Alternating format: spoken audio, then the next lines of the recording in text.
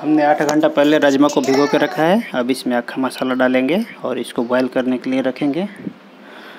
और थोड़ा साल्ट डाल दिया है और बॉईल करने के लिए चढ़ा दिया है। R S P cooking fast channel में आपका स्वागत है। वेलकम है। चलिए देखते हैं। राजमा मसाला रेसिपी आज बनाने जा रहा हूँ। अभी तक आपने अगर मेरा चैनल को सब्सक्राइब नहीं किया है तो सब्सक्राइब कर लें और बेल आइकन दबाएँ।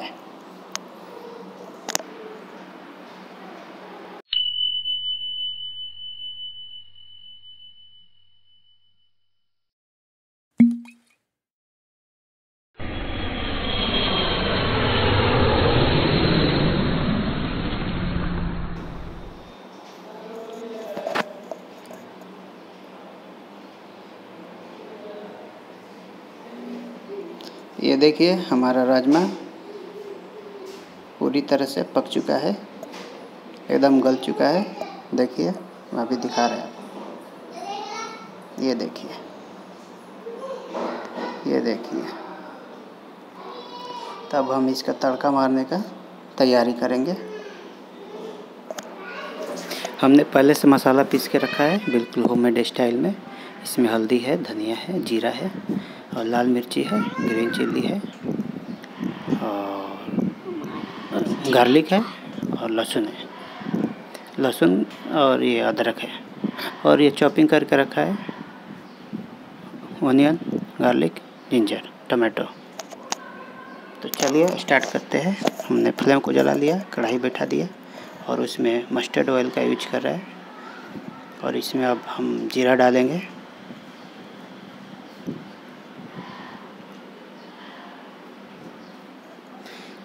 इसके बाद जो लहसुन काट के रखा है फाइन चॉपिंग उसको डालेंगे।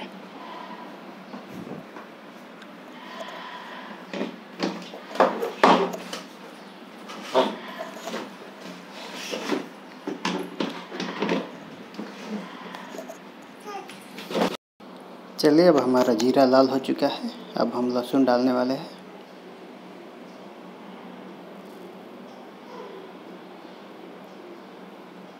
अभी लहसुन ब्राउन होएगा, उसके बाद प्याज को डालेंगे और प्याज को भी ब्राउन करेंगे।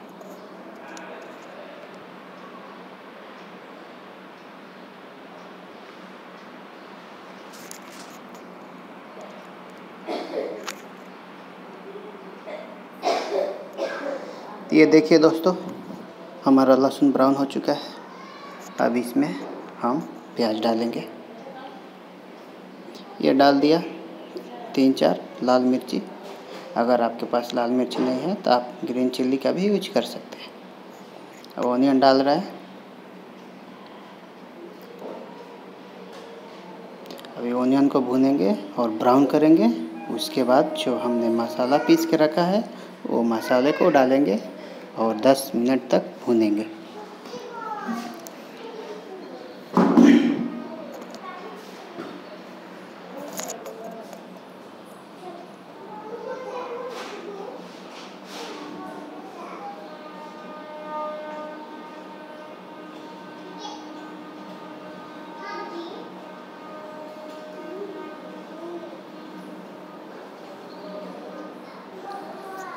ये देखिए दोस्तों, हमारा ओनियन ब्राउन हो चुका है। अब इसमें हम पीसा हुआ मसाला डालेंगे, जो होममेड स्टाइल में पीस के रखे हैं। कोई पाउडर यूज़ नहीं कर रहा है, ये मसाला पीसा हुआ है।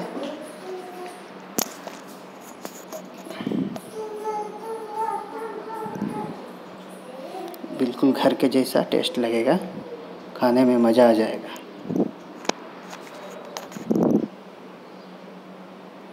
इतना टेस्टी बनेगा कि आप उंगली चाटते रह जाइएगा।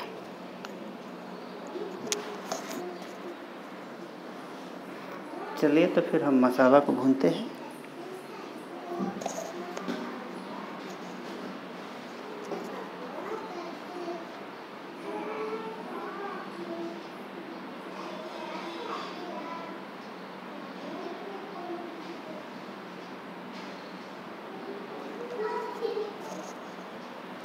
अभी मसाला भूनना है।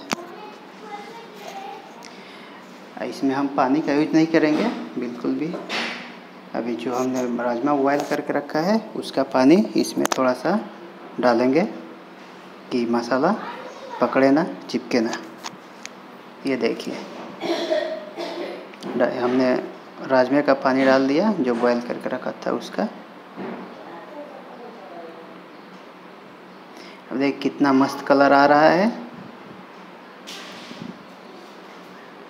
अभी अब थोड़ा टाइम और भूनने के बाद इसमें हम टमाटो को ऐड करेंगे।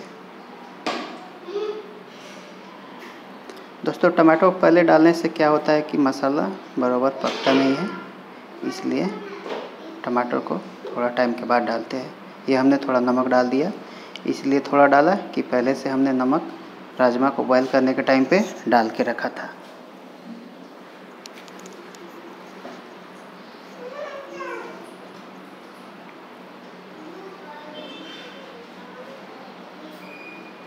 अब इसमें हम कटा हुआ टमाटो ऐड करेंगे। और जो जिंजर जो दिख रहा है लंबा लंबा इसको हम गार्निशिंग के लिए लास्ट में डालेंगे।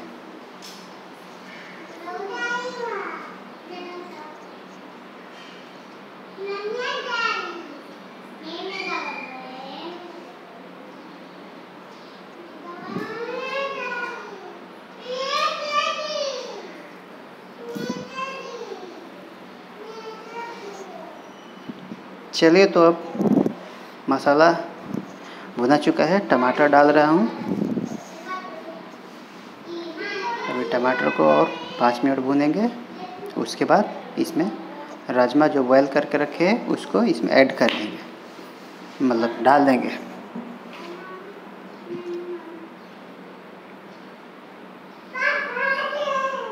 ये देखिए टमाटो अपना पानी छोड़ चुका है। और कलर भी मस्त आ रहा है।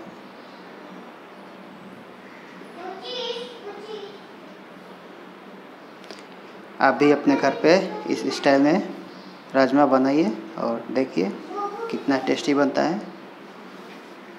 और आपने अगर हमारा चैनल सब्सक्राइब नहीं किया है तो सब्सक्राइब कर ले और बेल आइकन को दबा लें। और भी बहुत सारे वीडियो होममेड स्टाइल में मैं डालूँगा। अगर आप बोलेंगे, अगर कमेंट में बताएँगे कुछ तो।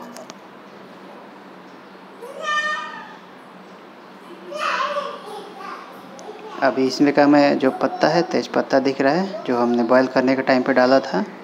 बड़ी इलायची दो पीस डाला था, और दो ग्रीन इलायची डाला था, उसको निकाल लेंगे। इसलिए निकाल लेंगे किसी किसी के पसंद नहीं है और वो दाँत वो दाँत तो आता है तो उसका टेस्ट ख़राब, खाने का टेस्ट ख़राब कर देते इसलिए अभी तो उसका फेवर उसमें चला चला गया है।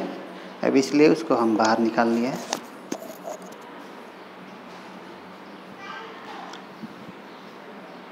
अब हम राजमा को कढ़ाई में डालेंगे।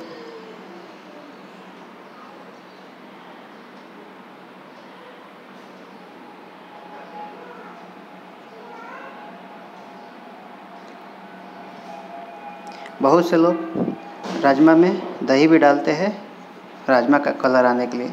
लेकिन हम दही का यूज़ नहीं कर रहे हैं, क्योंकि हमारा ऑलरेडी ऐसे ही कलर मस्त आया है। और खाने में भी मज़ा आ जाएगा।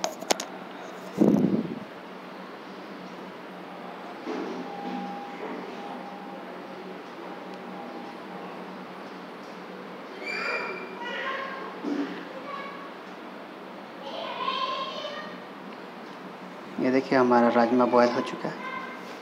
पूरी तरह से मसाला भी पक चुका है। जो हमने अदरक काट के रखा है, लंबा लंबा, उसको गार्निशिंग के लिए डालेगा इसमें ऊपर से। और थोड़ा धनिया पत्ता डालेगा और खाने के लिए मज़ा आएगा। और राजमा और चावल चावल के साथ खाने में मज़ा आता है, इसलिए चावल बना लें और राजमा बनाएँ और खाएँ।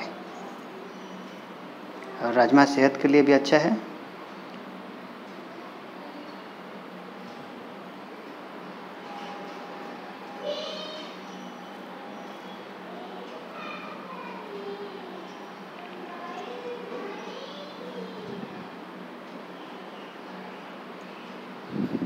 ये देखिए, हमने अभी जिंजर को इसमें डाल दिया। आप चाहे तो ग्रीन चिल्ली भी ऐसे ही कटिंग करके लंबा लंबा डाल सकते हैं गार्निशिंग के लिए। कि देखने में अच्छा लगेगा और खाने में भी मज़ा आ जाएगा। तो चलिए हमारा राजमा